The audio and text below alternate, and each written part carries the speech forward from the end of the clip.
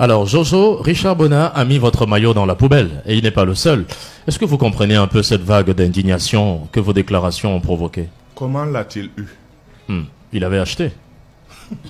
Vous lui avez même pas demandé. Vous étiez un Il a- modèle. Non, il a- lui-même, il a dit. Il a Il dit a dit qu'il a dédicacé acheté par vous. Ah, Il a dit que c'était dédicacé par vous. Voilà. C'était dédicacé par vous. Il montrait la signature. donc ça c'est très bien. Donc euh, seulement il, Il vous estimait à cette époque. Non, il est libre.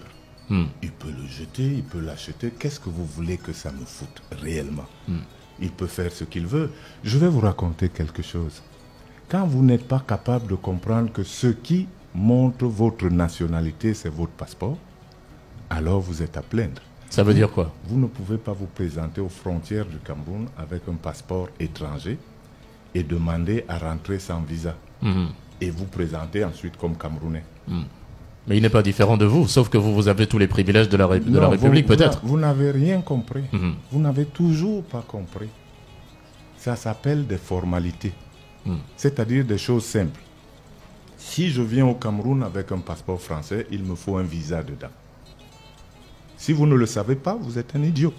Je Et Richard. Bonnat est un idiot Ça le regarde s'il l'a fait. Je vous le dis. Vous ne pouvez Non, pas. Vous l'avez dit. Mais je suis en train de vous le démontrer. Vous ne Vous nous démontrez qu'il est un idiot. Non, vous ne pouvez pas vous présenter aux frontières d'un pays avec un passeport étranger sans visa. Sauf si on vous a dit que ce pays-là n'a pas besoin de visa. Or, si vous vous présentez aux frontières du Cameroun, vous êtes des- probablement pas. Mais si vous allez aux États-Unis, Mhm. on rigole pas aux frontières.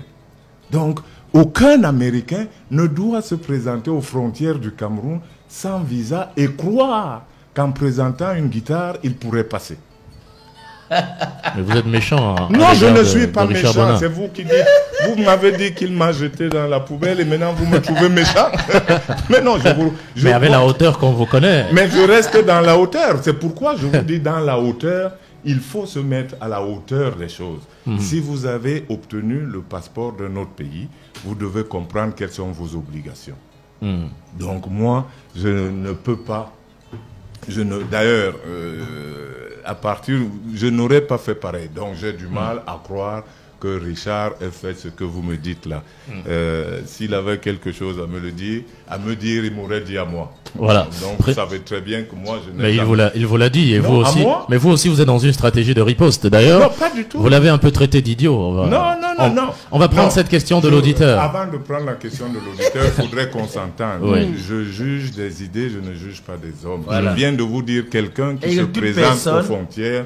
Je n'ai pas dit Richard Bouna, j'ai dit toute personne qui se présente aux Et frontières. lui, il s'est présenté aux frontières. je ne sais pas, c'est vous qui savez. Moi, je connais pas sa vie. Hein. Je ne connais Vous pas sa refusez vie. d'assumer, Jojo. Non, je ne connais pas sa vie.